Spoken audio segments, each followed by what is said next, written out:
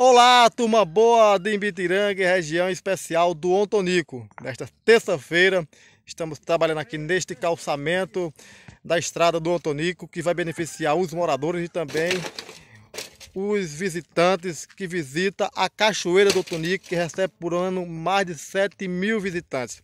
Ponto turístico da nossa querida região de Ibitiranga, que movimenta a economia aqui da nossa região. O pessoal que vem para cá faz compra em Ibitiranga, tem também os três mini mercado, os três bares próximos aqui.